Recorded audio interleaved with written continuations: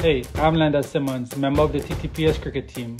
We will be in Barbados for the Regional Police T20 cricket tournament from March 31st to April 10th. We want to see you there. All are welcome.